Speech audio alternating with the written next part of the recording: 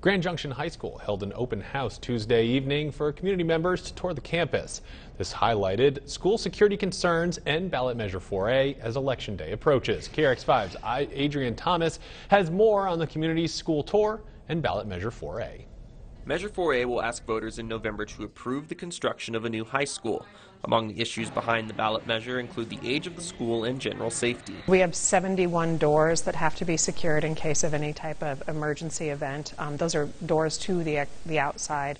Um, we have some doors that go straight out to the parking lot, so um, it's, it's always a concern. Also in attendance tonight were members of Citizens for School District 51.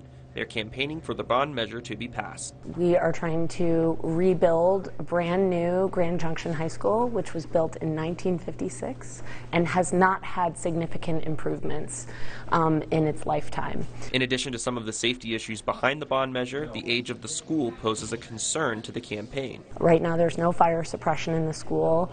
Um, we have significant issues in uh, the roof, and we have significant safety issues in between all of the different outbuildings in the school.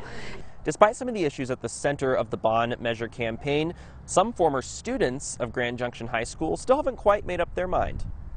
I haven't totally made up my mind on that yet, which is the main reason I'm here tonight to uh, get a tour, try to see what some of the problems are. The final decision will be made by voters in November.